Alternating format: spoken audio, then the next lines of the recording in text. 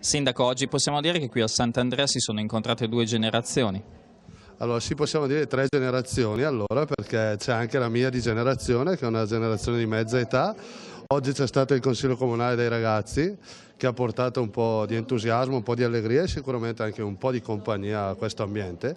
Eh, è un aspetto che credo necessiti di compagnia, necessiti di simpatia e quindi abbiamo voluto affrontare questa iniziativa assieme al Consiglio Comunale dei Ragazzi. Dal sindaco al sindaco dei ragazzi, perché una seduta di consiglio comunale all'istituzione Sant'Andrea? Eh, siamo venuti qui per far conoscere anche a questi anziani che come è il mondo all'esterno, visto anche politicamente, e volevamo coinvolgere in questa seduta anche loro per eh, tenergli anche molta compagnia e non farli sentire soli. Oggi il Consiglio Ragazzi all'istituzione Sant'Andrea, quali sono le altre attività e iniziative che sta portando avanti in questo periodo?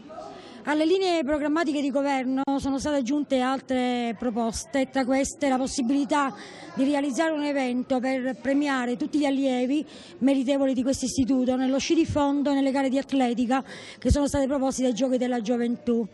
Nello stesso tempo l'acquisto di alcuni computer e poi ci sarà una giornata ecologica, un intervento presso la televisione New Bergamo, è un programma multimediale ed inoltre la visita a Sua Eccellenza Monsignor Capovilla.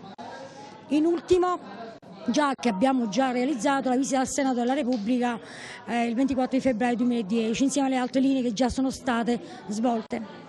Questa è un'iniziativa che si ripete ogni anno qual è soprattutto l'aspetto positivo di questi incontri?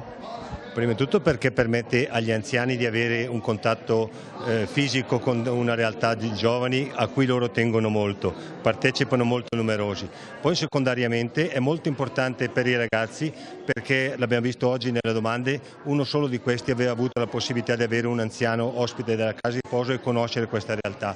Per noi è importante che già a livello giovanile si conosca questa realtà che è molto importante per Clusone. Abbiamo fatto vedere un po' anche la struttura, abbiamo spiegato quali sono i servizi che attualmente la società fa e allora questo permette a questo piccolo consiglio comunale di ragazzi di farsi un'idea di quello che è la realtà sociosanitaria del comune di Clusone.